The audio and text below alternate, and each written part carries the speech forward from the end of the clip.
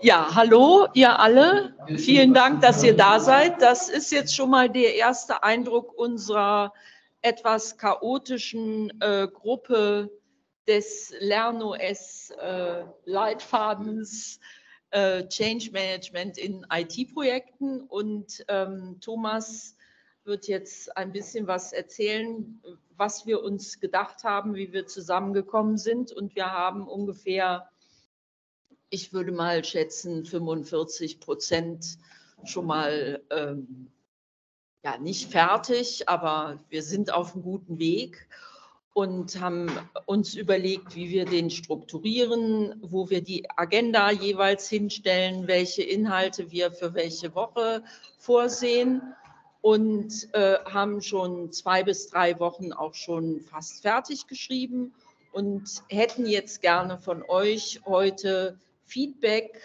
vielleicht auch noch ähm, Tipps, äh, was man eventuell dazu packt oder was man vielleicht auch besser machen kann.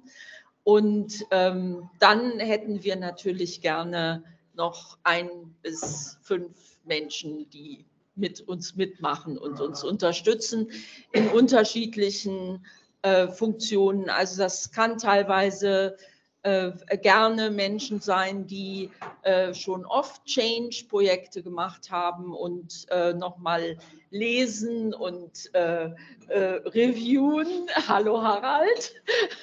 Und solche, die, die vielleicht auch Sketchnotes oder ähnliche ähm, Geschichten beisteuern wollen, wie wir unseren Leitfaden etwas hübscher machen können und natürlich äh, auch äh, Menschen, die Inhalte beitragen zu den unterschiedlichen Wochen. Wir haben noch einige Wochen, die äh, noch nicht äh, hundertprozentig vergeben sind. So. Genau. Vielleicht stellen wir das Team noch mal ganz kurz vor, wer alles dabei ist. Ähm, wir haben uns letztes Mal, letztes Jahr hier das erste Mal getroffen, hatten dann eben ein paar Online-Meetings. Äh, und äh, genau, wer ist dabei? Silvia, äh, dann haben wir die Marianne noch dabei. Ich weiß nicht, gestern war, war sie, warst du vor Ort, heute ist die Marianne online dabei. Genau, hallo. Hi Marianne. Dann die Katrin Elsner.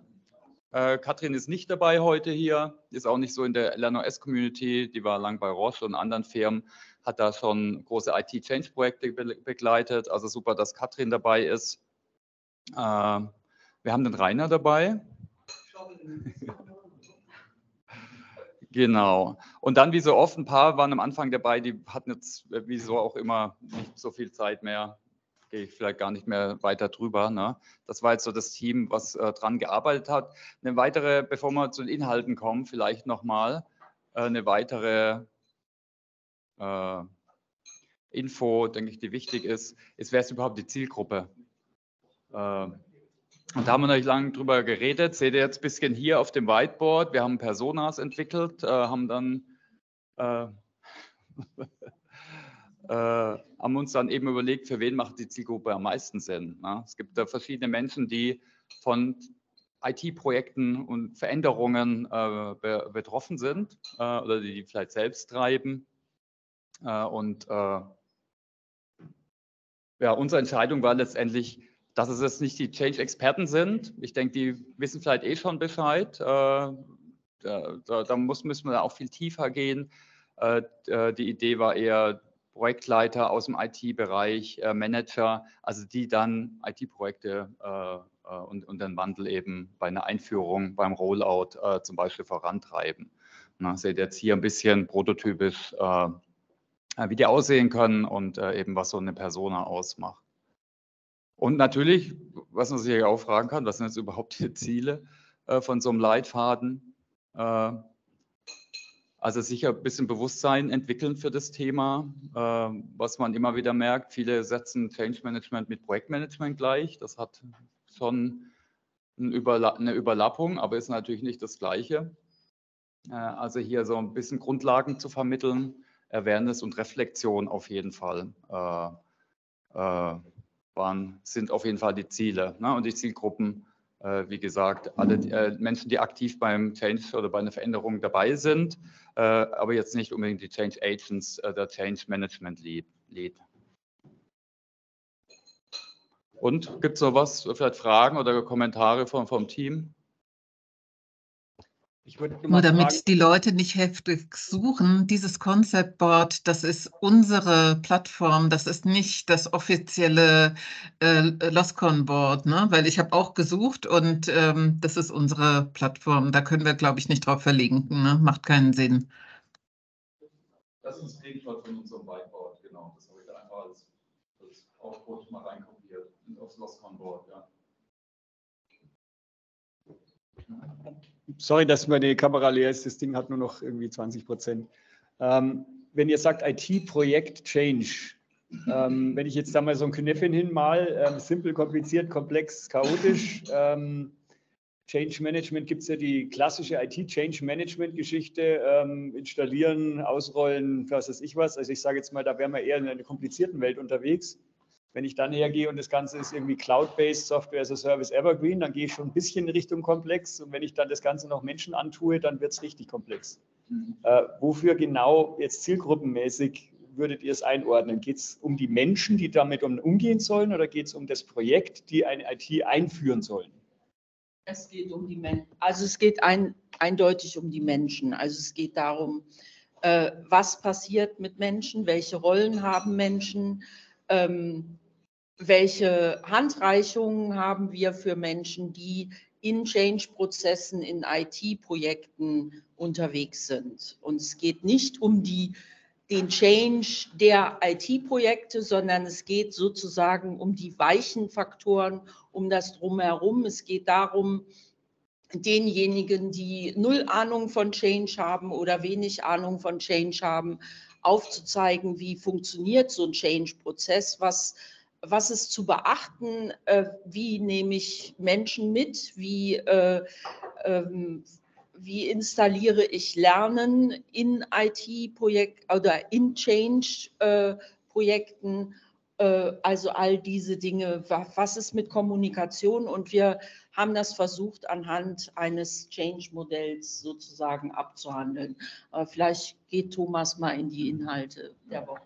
Und ich kann ja vielleicht nochmal meinen Hintergrund schildern. Ich bin von SAP und was uns gerade umtreibt, sind die Tausende von großen S4HANA und andere Projekte, die manchmal nur als äh, so IT-Projekt gesehen werden, aber werden nicht immer Menschen äh, und Prozesse und Verantwortlichkeiten äh, ja, sind da betroffen. Ne? Und je größer das ist, äh, wenn es in die Cloud geht oder wenn es da eine Business-Transformation ist, ist es natürlich noch krasser. Ne? Und jetzt auch unser Plädoyer natürlich, weil ich denke, das wissen wir alle, wenn du jetzt das nur technisch siehst und prozessmäßig, dann, ja, dann kann es halt viel eher scheitern. Äh, das, äh, und deshalb, das ist so mein Hintergrund, ne? auch da eben eine Endeffekt eine Befähigung auch für Leute, die in so S4HANA-Projekten arbeiten, die zu sensibilisieren, äh, um so die, die menschliche Seite äh, in, in, von der Veränderung äh, mitzudenken. Warum habt ihr es nicht Change and Adoption?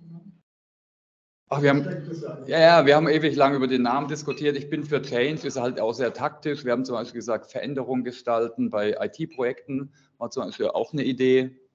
Change and Adoption, also wäre vielleicht auch eine Option. Ne? Da haben wir jetzt ehrlich gesagt noch nicht so, gab es ein paar weitere Ideen, wie Veränderungen gestalten, weil Change ist auch jetzt nicht immer positiv be, äh, be, behaftet. Change and Adoption ist auch gut. Weil da steckt das ja. ja so ein bisschen drin. Ja, ja. Mhm.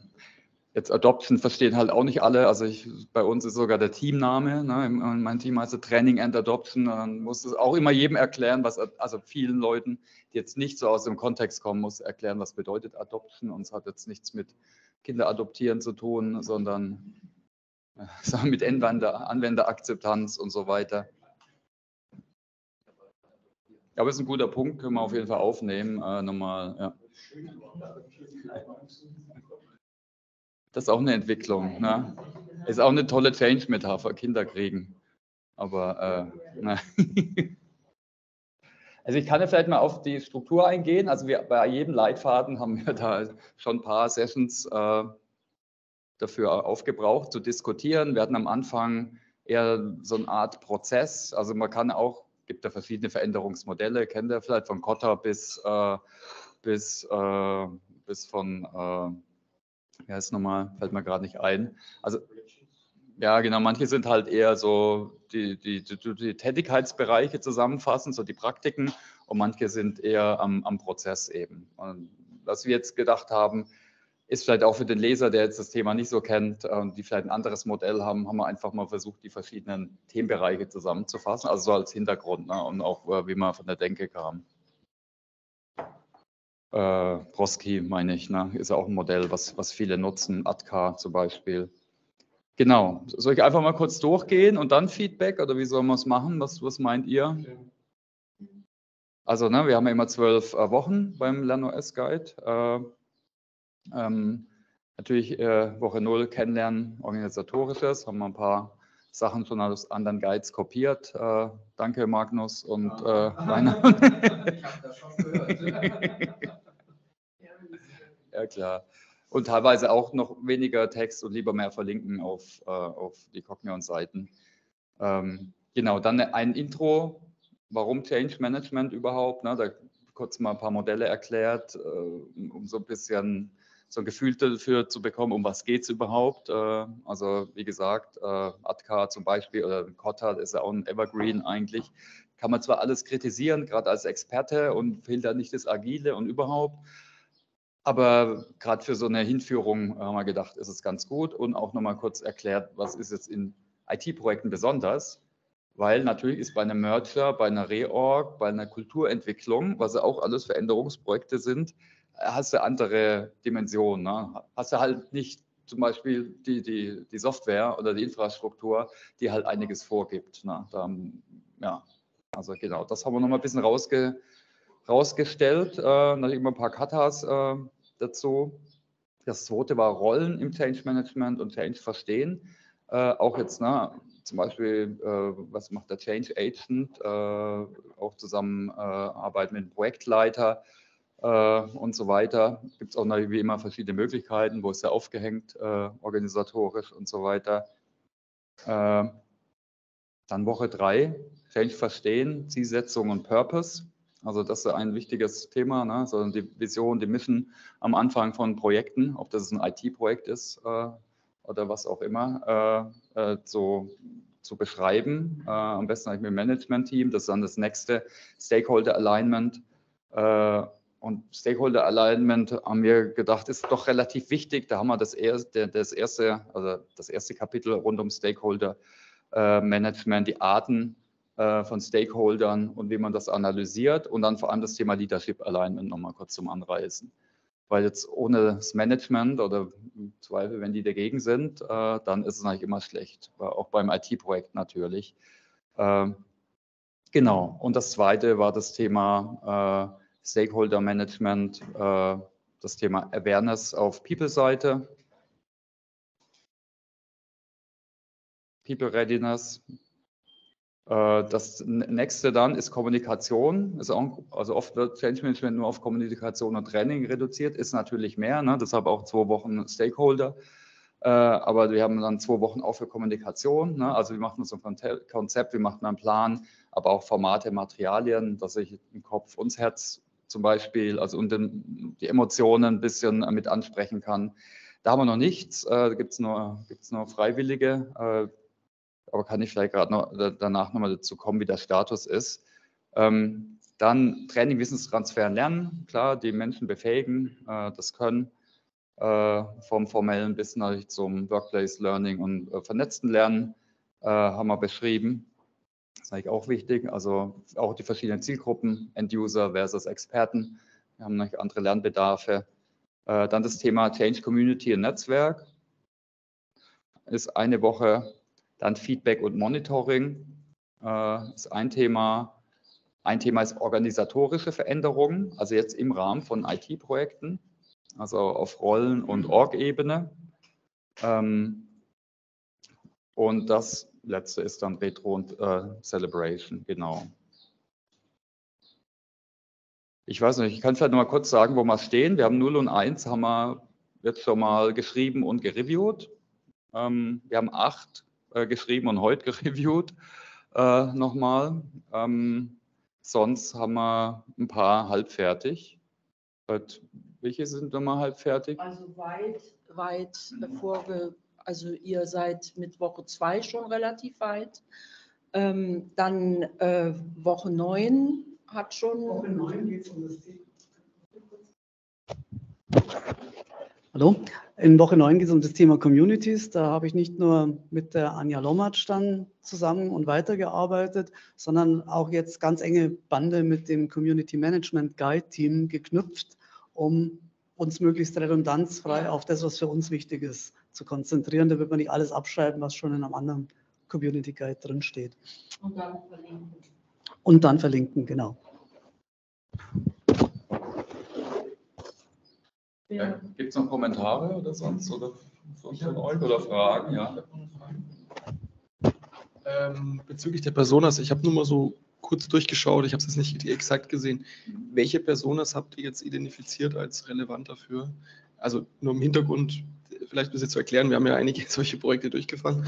Äh, was, was, was bei mir immer wieder kommt, sind zwei Faktoren. Das eine ist, dass es besonders gut funktioniert hat, wenn es nicht nur einen IT-Projektleiter gibt, der Change versteht, sondern auch einen Business Representative, der Change versteht. Also beide, so Tandem-Geschichten.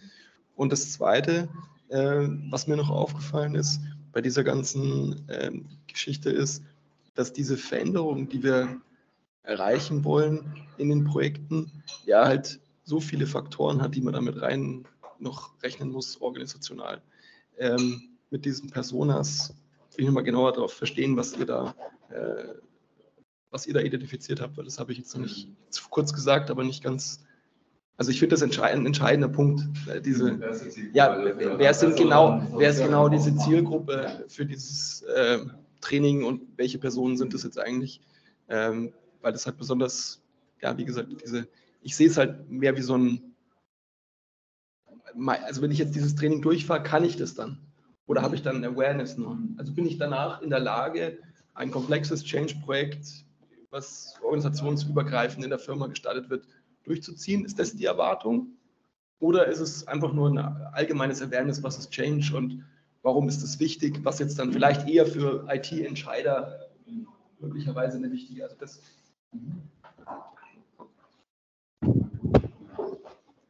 Also ich habe jetzt mal die Personas rausgesucht, die wir identifiziert haben.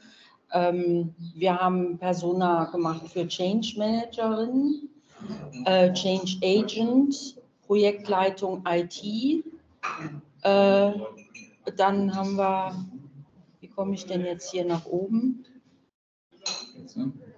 So, dann haben wir für einen normalen Mitarbeiter in Anführungsstrichen, also Projektmitarbeiter und äh, wir haben eine Person für Leiter IT-Abteilung.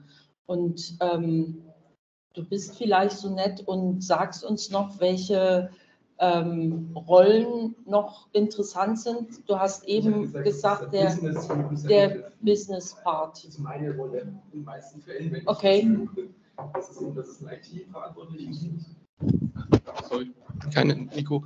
Äh, dass es eben IT-Verantwortlichen gibt, der ein Projekt umsetzen will und die kommen dann zu mir und sagen, ja, wie machen wir das jetzt? Mhm. So, und dann gibt es halt so ein, holen Sie mich in das Projekt rein, ich bin dann über mehrere Monate dabei, begleite es in der Art und Weise als Tandem sozusagen. Ich vertrete sozusagen die Netzwerke und leite die Kommunikation so ein bisschen an in der Richtung. Mhm. Also bin nicht derjenige, der kommuniziert, aber der die so berät oder versucht, die zu beraten, was das betrifft. Also ich habe so eine Zwischenrolle, die da jetzt noch nicht steht. Deswegen. Aber ja, deswegen äh, habe ich. Danke. Deswegen habe ich ja nachgehakt. Also äh, solche äh, Dinge sind natürlich sehr interessant für uns, um das einfach mit aufzunehmen, um ähm, nicht irgendwie auf der grünen Wiese zu bleiben, äh, und, sondern auch die Realitäten ein Stück weit mit abzubilden. Also die Realitäten sind unterschiedlich, dessen sind wir uns bewusst. Zwei, der zweite Punkt, den du ähm, nachgefragt hast, ist ähm, bezüglich der Awareness. Äh, also wir glauben nicht, dass jemand, der den Leitfaden durchgearbeitet hat, danach einfach ein IT-Change-Projekt macht. Aber das, was wir ähm, hoffen und erwarten, ist, die Menschen insofern fit zu machen, als dass sie ein sehr großes Verständnis haben und dass sie auch in Teilen ähm, ja, äh, die richtige Erwartung haben, was kommt an, auf mich zu und welcher, welche, welcher Part oder wo, wo muss ich praktisch als, als Betroffene in Anführungsstrichen auch aktiv werden. Also zum Beispiel das Thema Kommunikation oder Lernen oder äh, wie vernetze ich mich etc. pp.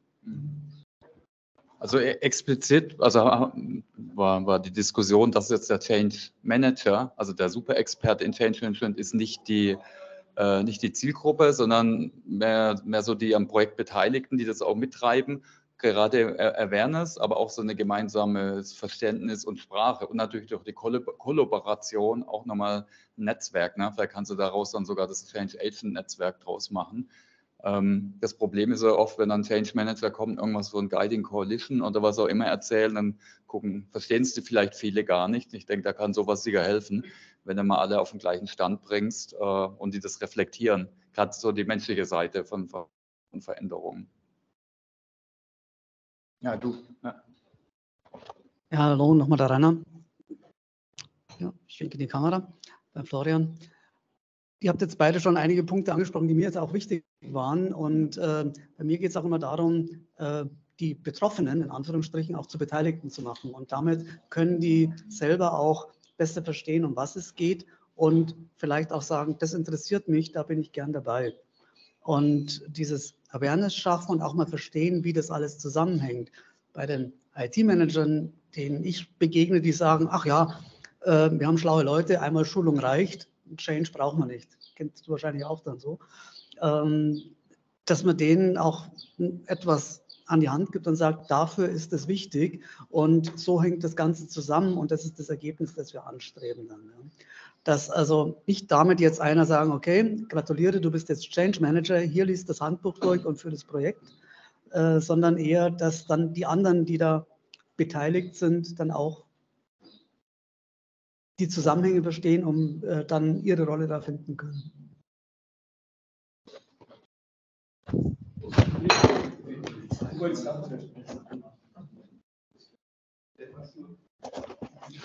Nee, also hast du das gerade das Wort vorweg abgenommen.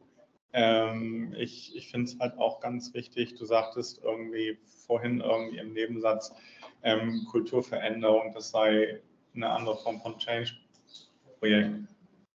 Du hattest so eine Auflistung. Mhm. Und, und ich aus, also aus Projekten, die schlecht gelaufen sind, weiß ich einfach, ganz, für bestimmte Anwendungsszenarien ist eine ernsthafte Kulturveränderung notwendig. Und deshalb ist es ganz, ganz wichtig, je nachdem, welche Software ist ja sehr unterschiedlich, halt nicht dieses klassische ähm, Stakeholder-Management aus dem Projektmanagement zu nehmen, was ja häufig erst, ich habe das alles durchgeplant und jetzt kommt mein Rollout und jetzt machen wir Change Management. Ähm, das ist halt schon viel zu spät. Und ganz wichtig, ähm, dass halt schon in der Frühphase tatsächlich Mitarbeiter mit beteiligt werden. Ja, aber es ist ne, der, der Fokus aus dem klassischen Change, äh, Stakeholder Management, aus dem Projektmanagement kommen, ist halt ganz häufig ein ganz anderer Ansatz, der viel, viel später überhaupt erst ins, ins Projekt reinkommt. Da ist die Projektplanung abgeschlossen und alles. Und dann sind viele Mitarbeiter einfach schon raus bei Softwareprojekten. Mhm.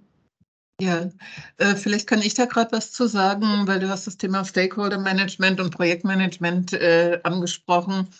Und äh, wir haben das Kapitel 5, das ist auch besetzt, äh, habe ich übernommen und die Christine. Und genau da geht es auch darum. Ne? Also ähm, diese, ähm, diesen Change anders verstehen, Widerstände zum Beispiel eben, das ist nicht die Aufgabe des Change, die Widerstände möglichst klein zu halten, sondern ein anderes Verhältnis zu Widerständen zu entwickeln, einen anderen Blick auf Widerstände. Und ähm, genau, also das nicht, äh, nicht Stakeholder Management oder Change Management als Instrument zu nutzen, um etwas, was nicht funktioniert, gut durchzubringen.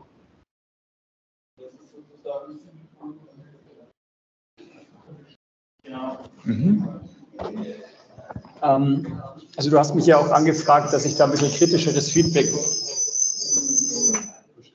kritisches Feedback geben darf oder soll. Ähm, ich habe mir mal versucht, auf einer Ebene, eine weiter oben, mir das mal anzuschauen. Ich habe mir das jetzt einfach so hingeschmiert, das kann ich jetzt im Moment nicht zeigen, weil es kann eh keiner lesen. Aber im Endeffekt die vier Beteiligten von so einem Projekt Change, IT Change, sind einmal der Provider, in eurem Fall halt SAP oder Microsoft oder irgendjemand, der möchte etwas anbieten, was verkaufen, was idealerweise auch genutzt wird. Dann gibt es denjenigen, der das entscheidet, dass es gekauft wird. Das ist in der Regel das CIO oder irgendjemand, der genug Geld und Budget und Verantwortung hat. In der Regel Geschäftsleitung, in der Regel jemand, der diese Tools selber nie nutzt. Also ihr verkauft was an jemanden, der es selber nie nutzen wird. Dann gibt es ein Projektteam, die sollen das, was jemand anders gekauft hat, jetzt in ihre Organisation einführen. An jemanden, eine Zielgruppe, und jetzt muss man ganz ehrlich sein, und das hat nichts mit euren Tools zu tun, egal ob das SAP, Microsoft, sonst was ist, die Gründe eines CIOs oder eines Entscheiders in einer Organisation, ein zentrales Tool einzuführen, ist Kosten oder Effizienz. Und in der Regel heißt es für die Leute, die dieses Tool bekommen, mehr Aufwand, Angst, ich werde vom Experten in meinem alten System zum Anfänger im neuen System.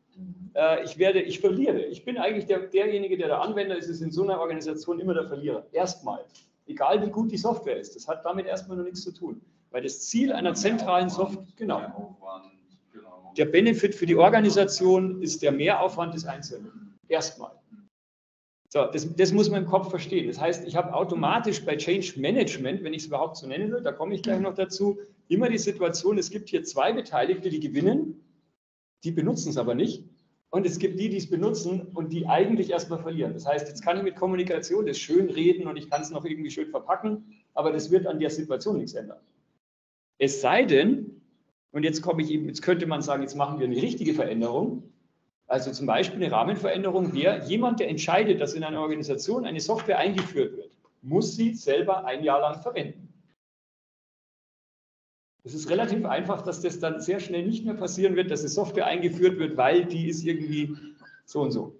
Also wäre es eine Möglichkeit. Zweitens, diese, diese Gruppe, die die Zielgruppe ist, das ja die vielen sind. Du hast es auch genannt, Partizipation. Je früher ich die einbinde, umso eher können die ja auch beitragen, was wäre denn für mich Effizienz? Was würde denn für mich als derjenige, der ja die Arbeit macht, eine echte Erleichterung sein? Was wäre eine echte Lösung auf ein Problem, das ich auch wirklich habe? Also das wäre erstmal so eine ganz Meta-Level-Geschichte, die man sich anschauen sollte. Weil wenn man auf der Ebene schon feststellt, die können ja gar nicht gewinnen, dann brauche ich da auch keine Personas machen, weil ob ich jetzt Persona minus drei oder minus fünf bin, es ist immer Minus. Dann das zweite, Change, ihr habt es jetzt auch bewusst, vermute ich, Change Management genannt.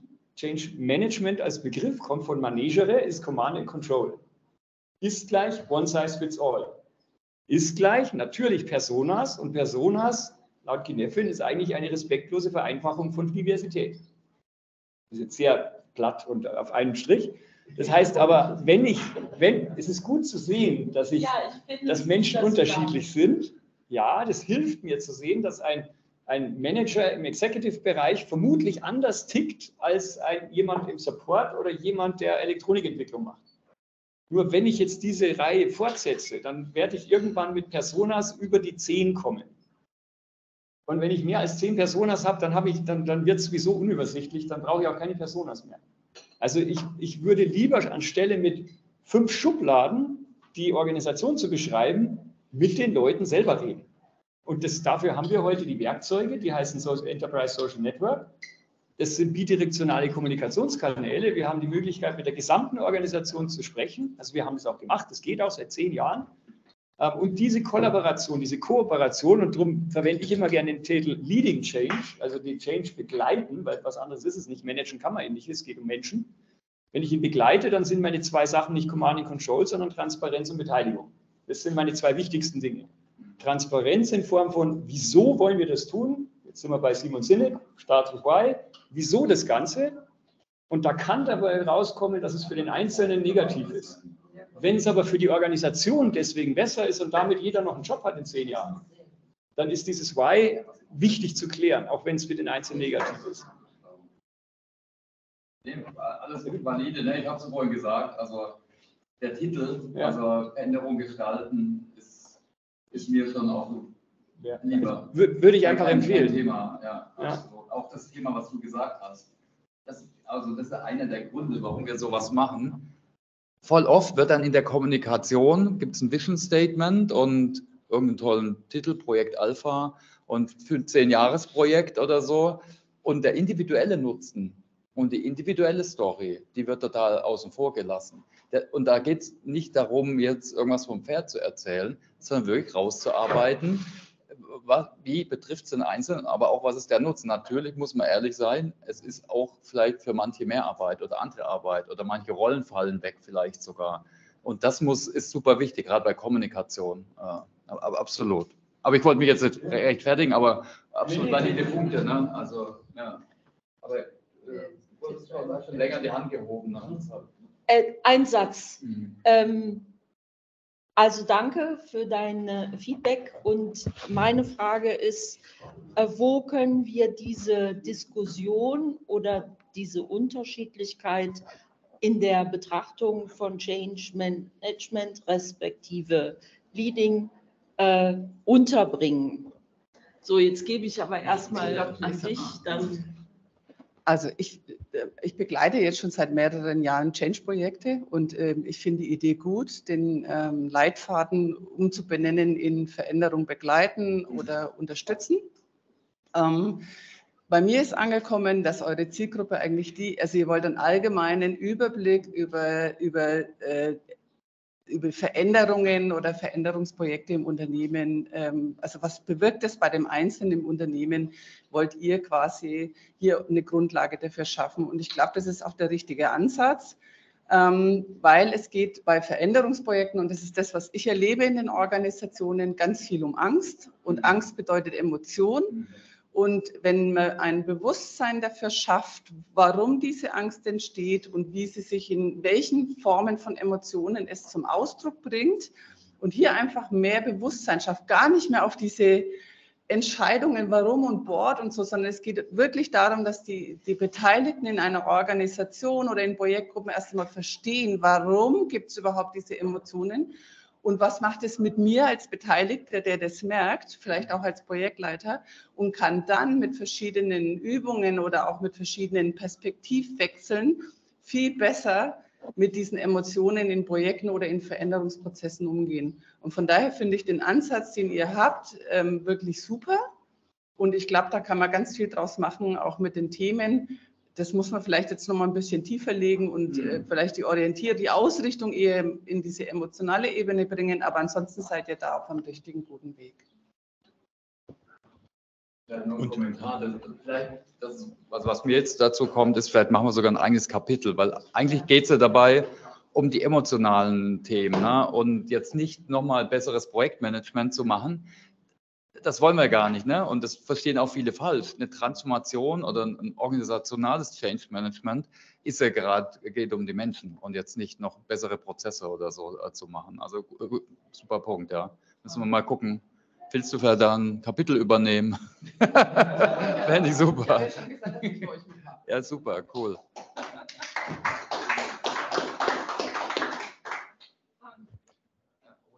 Projekte sind ja Projekt,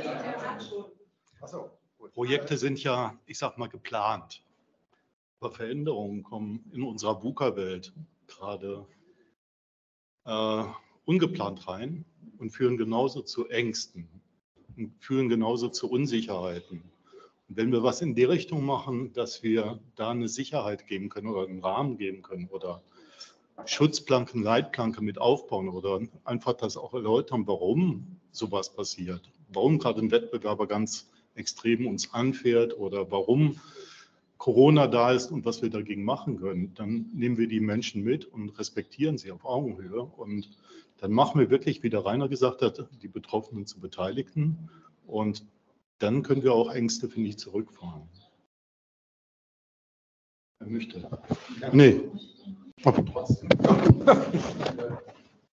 Ähm, ja, also ich wollte nochmal das anknüpfen, was du gesagt hast. Ähm, also, dass man keine Schubladen machen soll, ist schon klar. Ähm, trotzdem hat man natürlich unterschiedliche Zielgruppen. Also muss man schon sich mal im Klaren sein. Also es ist was anderes, wenn ich jetzt, äh, ich nenne es immer Non-Desktop-Worker und Desktop-Worker, wenn man die halt unterscheidet, das, das sind halt, das ist halt trotzdem, die muss man anders ansprechen wie im Management. Ja? Also da gibt es schon nochmal Unterschiede. Ne? Aber was ich will trotzdem daran anschließen, dass das Reden mit den künftig Betroffenen schon sehr früh stattfinden muss. Also bei, wir oder ich habe das Credo, bei uns starten Projekte, wir sind ja im Microsoft 365-Umfeld unterwegs. Ähm, und das ist nicht so, dass wir einfach, wie du sagst, äh, einfach Software den Leuten überstülpen wollen. Also da ist sie, sondern das ist ja ein ganzer Blumenstrauß von Werkzeugen. Es geht ja erstmal darum, das auch so zu gestalten und die Werkzeuge rauszusuchen und die auch zu konfigurieren, eventuell anzupassen, äh, zu tunen, sodass das dann auch zu den Menschen passt und zu deren Problemen auch äh, passt. Also dass es wirklich auch hilft, Probleme zu lösen. Und bei uns fängt dieses Thema Change schon da an. Wäre das Erste, was wir machen, mit Zielgruppen zu arbeiten, also mit denen zu reden. Was habt ihr denn für Probleme? Wo können wir euch helfen? Wir können, wie, wie können wir eure, Ein, eure Arbeit im Alltag verbessern? Also das ist bei uns der Ansatzpunkt. Und daraus resultieren dann aber auch Ansätze des Change Management. Ne? Wenn die dann sagen, oh, ähm, ich, ich, verstehe das oder das verstehe ich nicht. Ne? Also warum sollen wir denn ganz einfach, ne? wir führen Teams ein. Ja, warum sollen wir denn künftig keine E-Mails verschicken, hausintern? Das hat doch bisher immer geklappt. So, und äh, dann habe ich habe schon so, solche Fragen habe ich, kriege ich immer wieder. Jetzt müssen, muss man aber mal argumentieren. Nutzt lieber die, die Chat-Funktion, die Unterhaltungsfunktion von Teams ja, warum?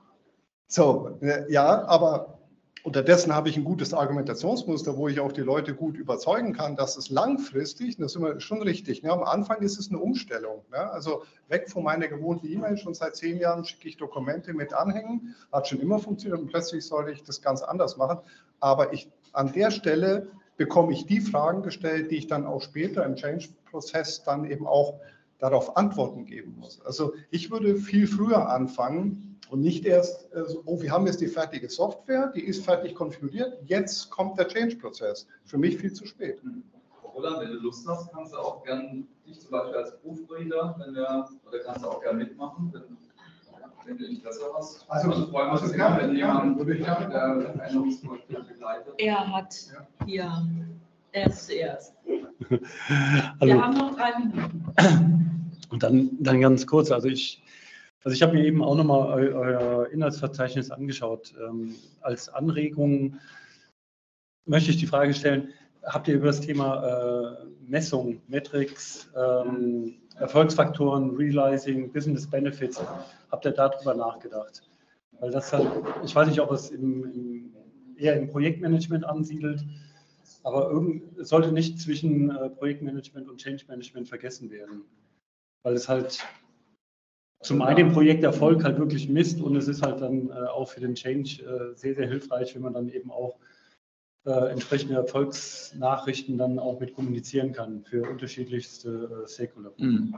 Ja, das war äh, eigentlich äh, Nummer 10, Feedback Monitoring. Also gibt es so Ansätze vom Datengestützten, ah. dass du verschiedene, also Akzeptanz können, haben die Leute Selbstwirksamkeitserleben und was auch immer. Da gibt es so verschiedene Mess Kriterien, äh, wo es auch gute Forschung gibt dazu.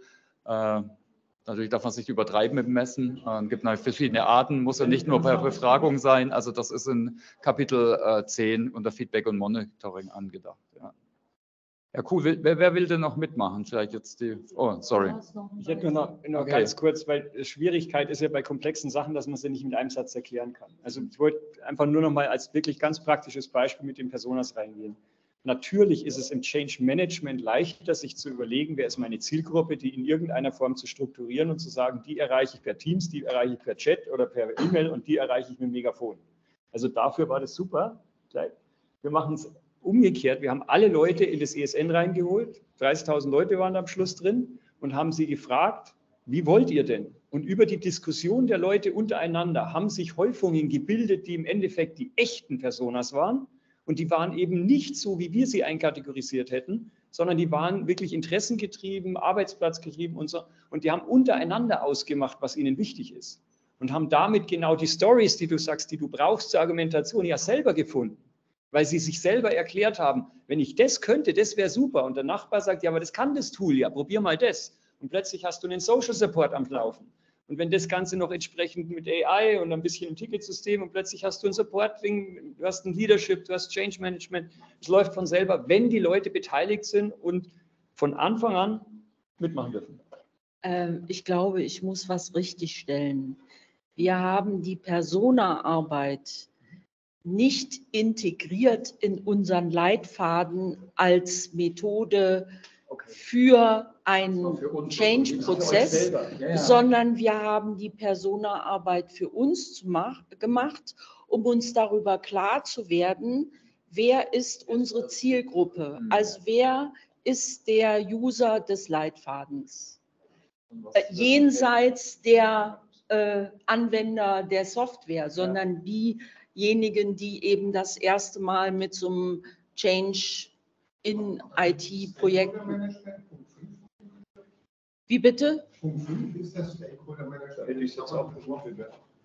Ja, ja, sicher, das spielt da rein. Aber die Personas, die war jetzt für uns eine Methode zu gucken, wer ist überhaupt die Zielgruppe vom Leitfaden. Äh, das war für uns nur am Anfang, ne, du guckst, was ist das Ziel vom Leitfaden überhaupt, für wen ist es? Und da war das so die, die, die Hinarbeit, um das, um so Menschen besser zu verstehen, da ist es halt hilfreich besser natürlich wären Interviews mit äh, oder so, aber ja. Also was ich mitnehme Vielleicht noch, für den Stakeholder ja. ist äh, die Rolle von Monsieur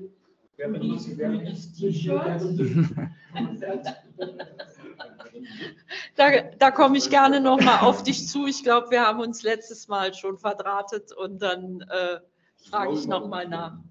Und dann, ähm, ja. Äh, Wer macht noch mit? Wer macht noch mit? Wir haben jetzt äh, eine Meldung. Äh, Harald hat gesagt, er würde hier den. Äh, ich lese. Du liest. ja, Harald liest auch. Also ich glaube, wir sind jetzt erstmal. Ähm, was ist hier mit unseren Online-Menschen? Seid ihr dabei oder gibt es jemanden, der mitmachen möchte? Wer die Hand unten lässt, ist dabei. Wo ist der Knopf? Erstmal ganz, ganz vielen Dank auch nochmal, dass so viele dazugekommen ja. sind. Äh, ich hoffe, wir kriegen jetzt nochmal einen neuen Boost und nächstes Jahr mindestens spätestens, dass wir dann fertig sind und genau. vielleicht über erste Erfahrungen berichten können, vielleicht schon über einen Prototyplauf. Holzcamp. Nee. September. Ah, okay. Das ja, ist sehr. Also vielen Dank an euch alle, auch an die Online. Danke.